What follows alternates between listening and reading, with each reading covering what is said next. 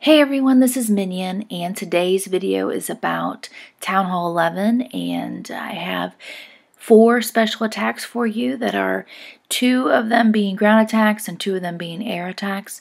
We have Rives with a Queen Walk Bowler Smash, Shinbe with a GoBoPeWi, Metal Finger E Drag Bat, and Lifesurfer with a Blimp Drag Bat. But first, let's start off here with Rives and he is doing a Queen Walk Bowler Smash starting at 3 o'clock with a Baby Dragon and Minion, the Queen Walk, a couple, um, a loon for Coconut Loon to clear out any types of air traps, and um, nice Rage for the Queen and the healers, healing her up nicely, coming into the heat um, from the main part of this base. He's going to start funneling in from 12 o'clock with um, Looks like a uh, P.E.K.K.A, some witches, and some bowlers. He's got the wall wrecker coming in with some bowlers behind. Inside the wall wrecker are more bowlers. And uh, the nice thing about this this base or this attack is is base recognition. Had Rives come in from the other side, you notice there's a two space gap between the walls and those buildings inside that first layer um, those bowlers might have walked on him. Instead, he comes in on the side that's easiest to funnel. He's smashing through the base, um, taking care of this pretty easily. I mean, this is um, not a uh, completely max base, yet um, it is definitely upgraded, and he's doing a fine job. Um, this is just really good um, Army comp and base recognition. Um, the buildings were nice and tight. It made excellent value for a bowler bounce. He's getting great value out of the healers. Um, everything is going well, and he has little MVP minions going on there at uh, at about five o'clock. So, um, so good job, Rives. The next hit's going to be by Shinbe. and Shinbe is doing a, am um, going to call it a GoBoPeWi. He's got Golem. So he's got Stone Cold Golem. I take that back. He's got a Cold-Blooded Golem. He has Bowlers. He has um, one P.E.K.K.A of his own, one P.E.K.K.A in the Wall Wrecker, and um, and also witches. So um, so Shinbes has a little bit of an atypical army, but it does a great job smashing a, a decently upgraded Town Hall 11 base. So good job Rives there. And here we go on to Shinbe. So Shinbe is working with a baby dragon to help with the funneling.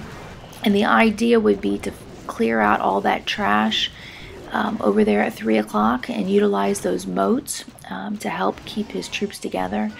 Um, I think he was feeling like um, it was going to be too much work to get a true funnel, so he's going to hope that his um, skeletons go over there and help him out. Um, everything is coming in, as you can see very nicely behind the wall wrecker. And uh, he is got the poison down for the clan castle. He's pretty well smashing the base. This is a, if you if you look at the design of this base, um, utilizing those moats, um, the enemy put a Tesla in there um, that makes it a little easier for your troops, keeps them kind of distracted and, and and well, I shouldn't say distracted, more so focused um, and and clumped together.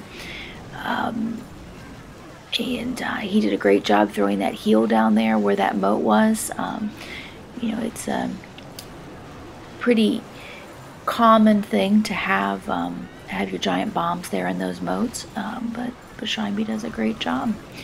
And uh, his heroes stayed together nicely. Um, they're over there working um, just off of um, in the first compartment there by 3 o'clock. And they're going to break through the wall and they're going to join up with the king.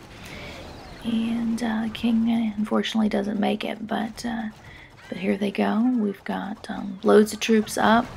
The P.E.K.K.A is going to take a lot of damage. Um, just look at how many um, hit points a max P.E.K.K.A has.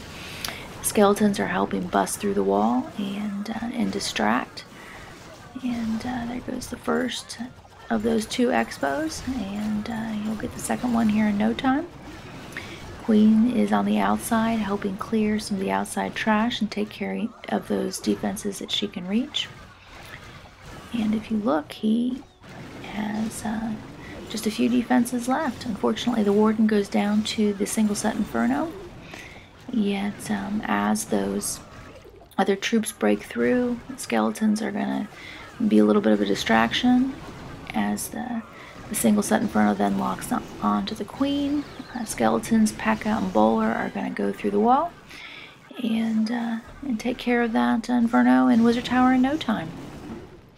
The next hit is by Metal Fingers, and uh, this also is a fabulous job of base recognition. Take a look at this base here. If we take a peek here, we notice the wizard towers are all pretty much on the perimeter.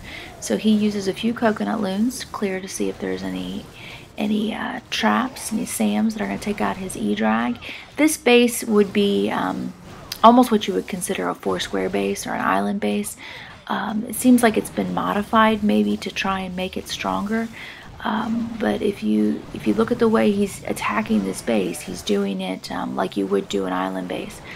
Um, he uses the slammer, and that helps open up the wall compartments for his royals and uh, because he's doing a bat attack, he's going to try and take care of that multi-set Inferno, especially since it's not close to any wizard towers and, and offers very low value for his uh, for a freeze if he should decide to use a freeze. So the Royals are continuing around in a clockwise motion. Um, behind that is the troops that came out of the slammer. There was an ice golem in the enemy clan castle, froze up his troops, and uh, Unfortunately, it, it did do quite a bit of damage, but uh, but Metal Fingers uh, did a fine job weighing it out. And if you look, take a look, he's got one whole quadrant taken care of. That makes for really nice funneling and pathing of his other troops. He's just simply going to work around this base clockwise. Um, as you notice on the back side, that's where he has his bat bomb going off. Um, he noticed great value for the bats over there, so he wasn't too worried about the uh, the Eagle artillery going off when he when he got up to the 180 troop level. Um, and you can see how deadly the the wizard towers are to the bats as as this wizard tower just takes care of, of almost all of those bats. But he has so many E-drags up that that he's going to continue on and level this base. One thing that was neat that Metal Fingers did that uh, you notice um, some players do is he went ahead and put the bat bomb down before he put the uh, the freeze down. Um, partially because this is a Town Hall 11 base, but um, but you will you will notice with the with the nerf that they had that Supercell brought in for the bat spell, it delays the um, the spawning of the bats, and so if you can be pretty quick with your spells, you can lay the bat spell down first and then get the freeze down and um, and get better value for those spells. It's it's all de depends on on your particular preference and your timing.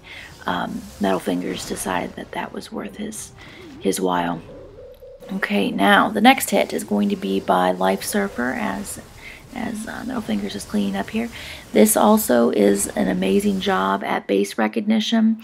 He gets unbelievable value for his bats. If you take a look at this, all of the wizard towers are stacked together on one side of the base. All the ADs are stacked on the other. So um, he is working in here from 6 o'clock. It's kind of hard to see, but he has an E-Dragon down that's creating the funnel there at, at 6. And uh, let's just let him see he's bouncing that chain lightning off of those big storages.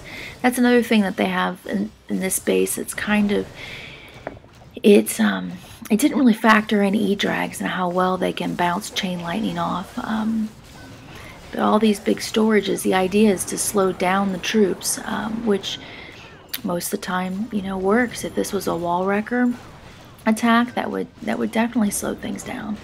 Um, but uh, Lifesurfer, Surfer takes his time here and he uses his queen and his king. His king is a tank, and his queen to reach over the wall to help set this funnel.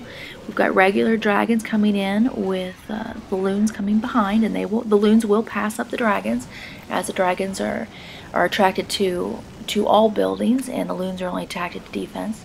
He uses a blimp, and uh, the nice thing here is he pops his blimp on purpose right on top of that eagle artillery take care of the eagle artillery. And here comes the bat bomb. He has the rage down, bat bomb on top of that, it's going to overwhelm all of those defenses there.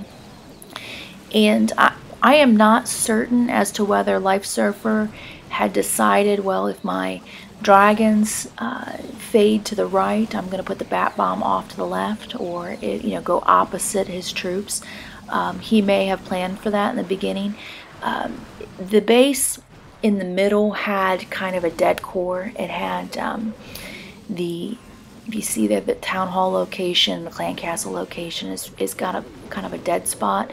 So the troops are going to fade one way or the other. And I'm going to bet that he decided to put the bat bomb opposite the direction of the, of the dragons. But great hit Lifesurfer.